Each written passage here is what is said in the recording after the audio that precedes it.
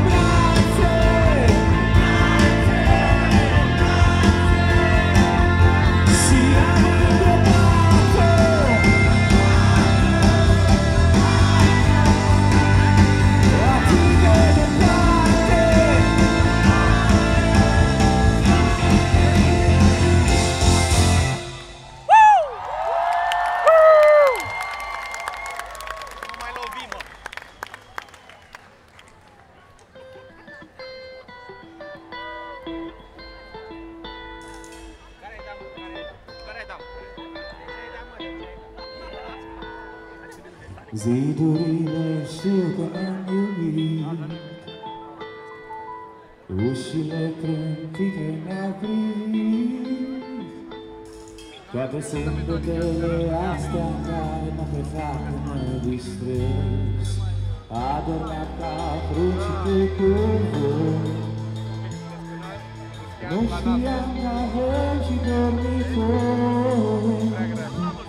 Nu știam că avem și dormitor Cu sărutul pe atunci cu pisturile coplicos Mi-am iubit atât de mult încât am declanșat război Aș vrea să scriu ceva frumos Starea care cântă pentru rost Pentru noi, filozată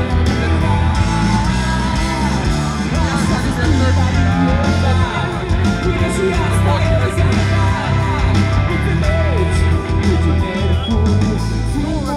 nostru l-aș vedea din nou din păcate nu-i de bine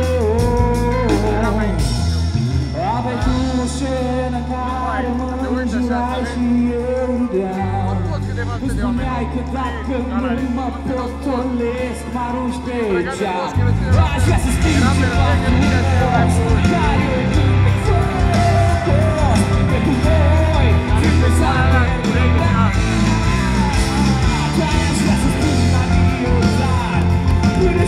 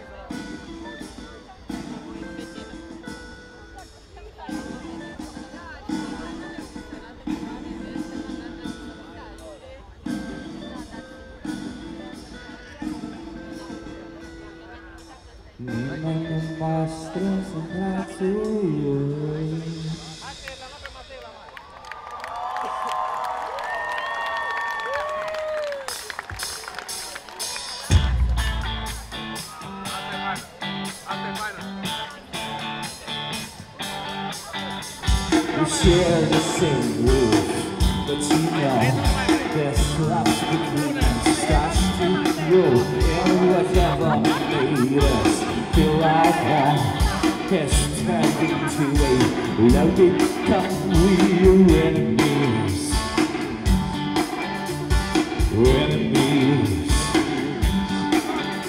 Like the couch we used to share The kitchen's too small and you. Fell in there at the silence heavy The pride is hard We feel like those acting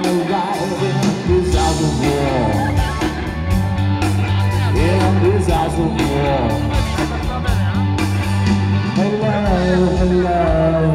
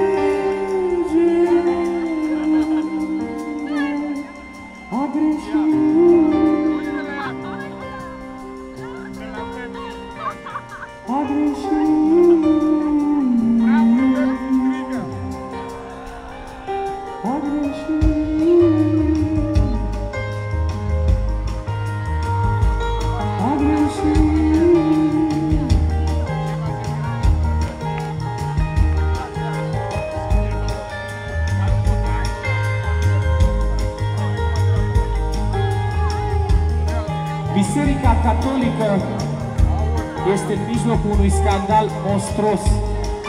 Preoți care abuzează copii în Irlanda, în Brazilia, este peste tot. Biserica Ortodoxă Română Spune preoții să le spună oamenilor ce să voteze. Oamenii ajung în iad dacă nu votează ce li se spune.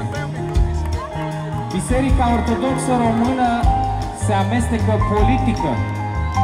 Deși biserica ar trebui să fie numai a lui Dumnezeu. Da, mai am un pic, drag de ea.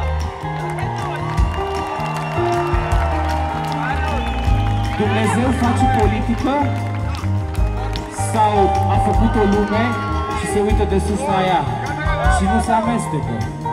Reprezentanții lui Dumnezeu pe pământ ne înjură în biserici. Am văzut filme circulând reale, preoți care și înjură enoriașii Hai, noroc! în casa Domnului.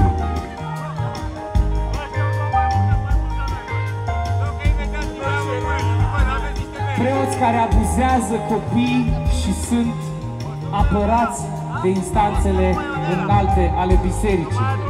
Avem noroc! Cele mai urite clădiri din București sunt Casa Poporului și Catedrala Mântuirii Neamului.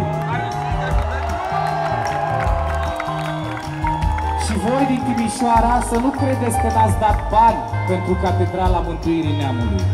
Tot neamul trebuie mântuit. Deci ați dat și voi. Ați dat și voi pentru cel mai mare mol ortodox.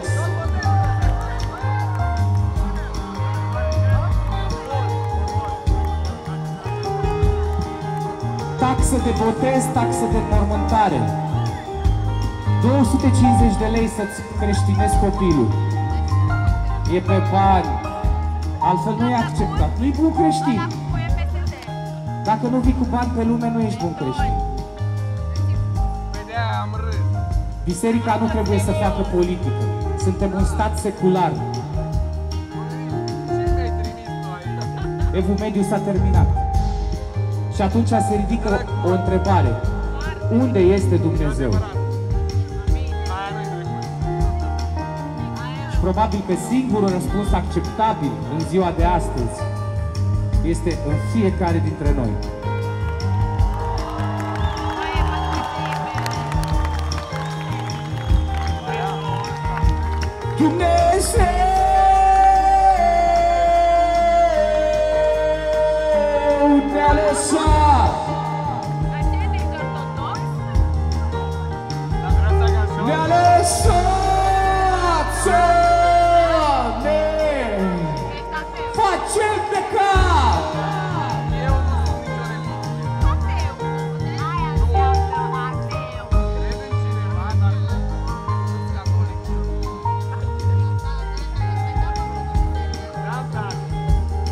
Ce mișto îi zice Iisus lui Pilat, când Pilat îi zice, pot să te scap, pot să am putere, pot să fac tot. Spune-mi adevărul. Și Iisus îl întreabă, ce e adevărul? Ce este adevărul?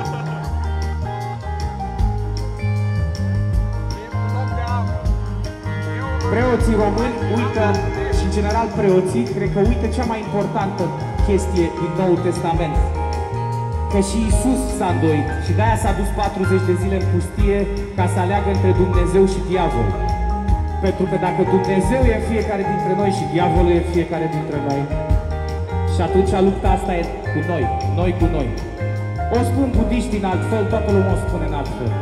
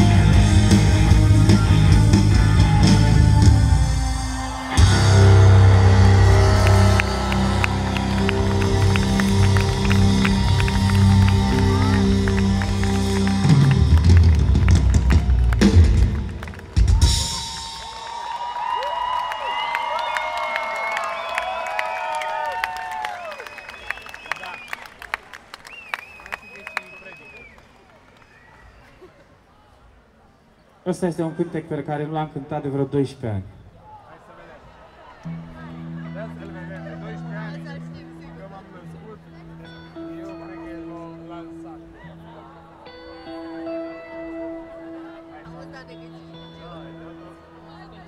De mult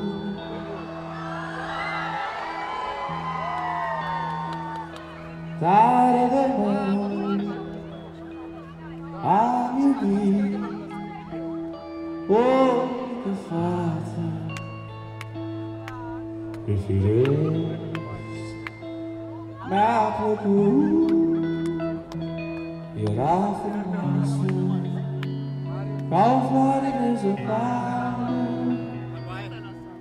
De mult Mă moară, să vedem să mă ce. Tare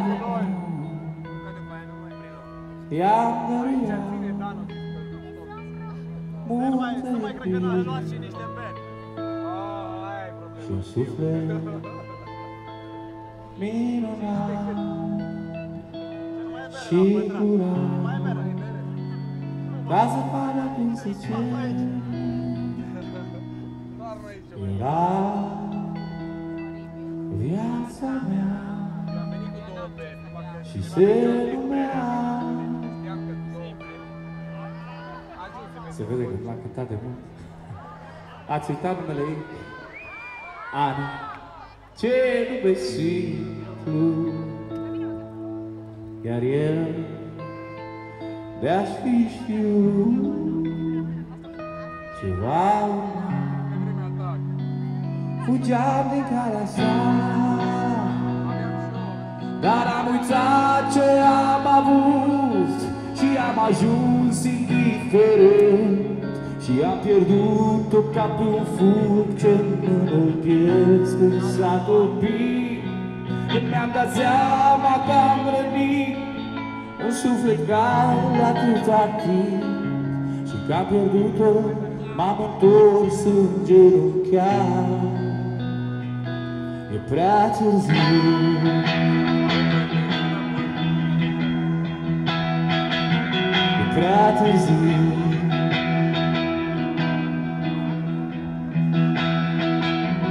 Voi ce acum mă ascultați Mai meritați și nu uitați. În dragoste indiferența e cea mai grea.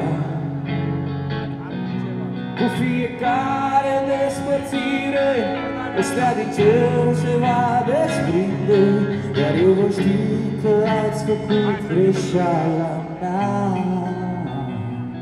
Greșeala mea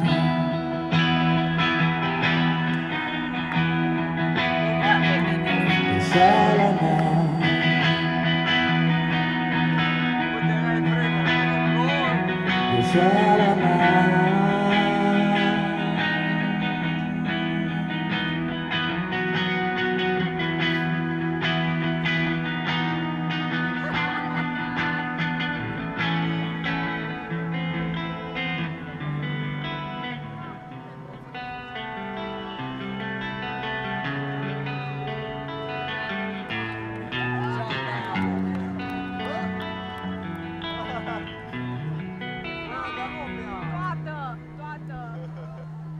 siya.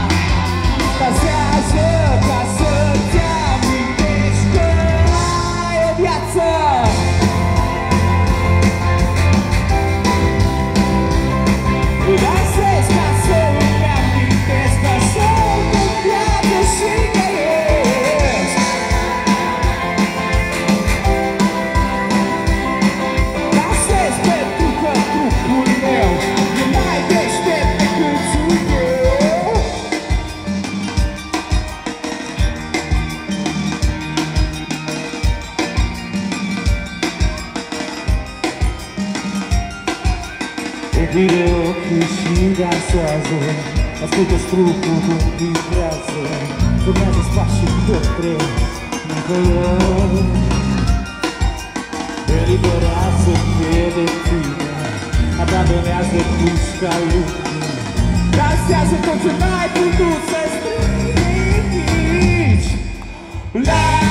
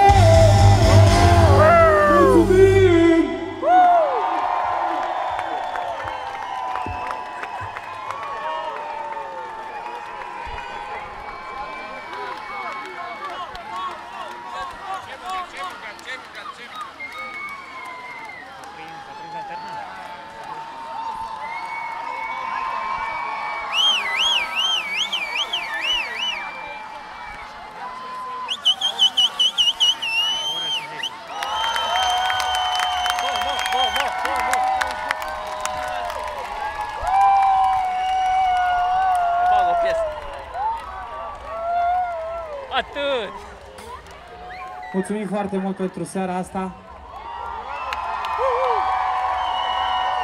O să mai cântăm o singură piesă mm, și este un festival și trebuie să respectăm timpii. Și o să, nu o să cântăm două piese pentru că vreau să vă spun și câteva cuvinte.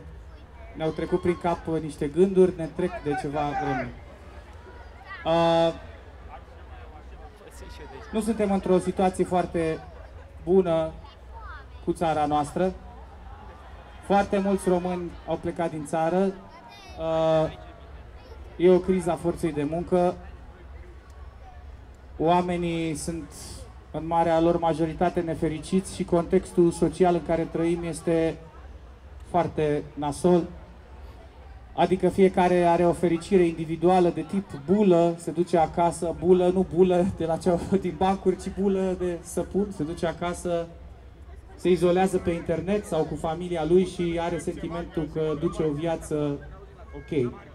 Dar de fapt, dacă călătorești oriunde în Europa, îți dai seama că viața înseamnă să împarți niște spații comune cu alți oameni, să te aduni în piețe, să bei bere, să te saluți și să poți să beneficiezi de niște lucruri, cum ar fi un sistem de sănătate corect, niște drumuri, școală pentru copii, școli, educație, care să formeze niște oameni nu atât de ușor de condus.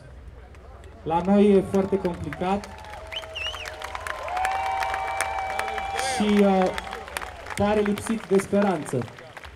Dar de pe scenă din seara asta s-a văzut totuși ceva diferit. Adică dacă sunt atâția oameni în țara asta rămași cât sunt aici, e ca în lupta de la Termopile, nu?